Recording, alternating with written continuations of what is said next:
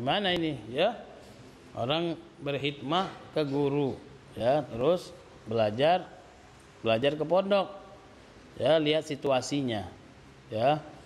Kalau ya berhikmah ke guru tersebut bisa nuntut ilmu juga ya e, terus e, yang lebih berhak ya lebih pantas ya sama guru tuh bagaimana? Ya dalam menuntut ilmu dalam berhikmah ya. jadi laksanakan. Tapi kalau misalnya ya berhikmah ya tapi tidak dapat ilmu sama sekali ya nggak bisa. Ya berhikmah sama guru itu dalam memandang guru saja sudah dapat ilmu. Ya eh, sekarang ini banyak. Ya orang berhikmah kosong ya hikmah saja. Nggak ada belajarnya. Ya lihat contoh baik akhlakul karimahnya nggak ada.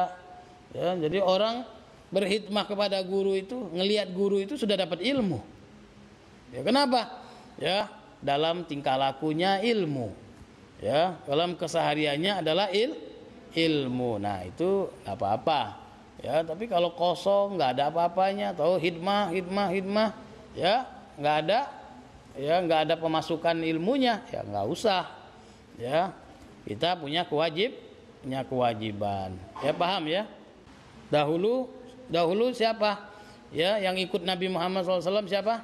Namanya ya Anas bin Ma Anas bin Malik ya ibunya ya ngasih hadiah ngasih sama Rasulullah SAW ya Rasulullah orang pada lain ngasih apa? Ngasih ngasih tombak, ngasih makanan, ngasih bekal untuk jihad. Aku tidak punya apa-apa katanya kata Ummu Sulaim. Aku punya anas kecil nih umurnya 10 tahun. Ya, ya udah. Ini aku hadiahkan kepadamu ya Rasulullah untukmu ya ber, ber, membantumu apa yang ya membantu hajat-hajatmu. Engkau mau beli apa, mau urusan apa, urusan rumahmu, ya gunakanlah ini anas. Akhirnya apa?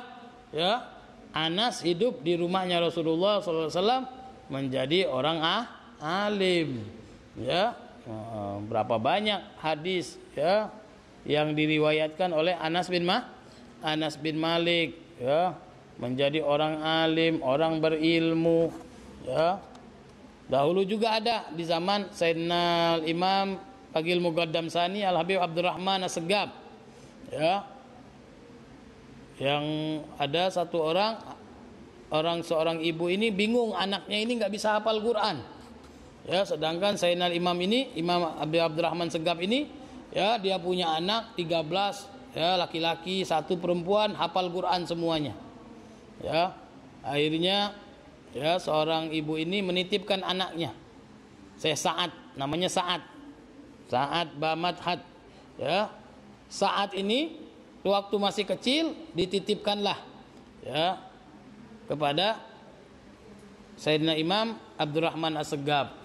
Akhirnya apa? Saat ini setiap hari ngelihat keluarganya ini keluarga Habib Abdurrahman As-Segab ini keluarga Al-Qur'an. Ya.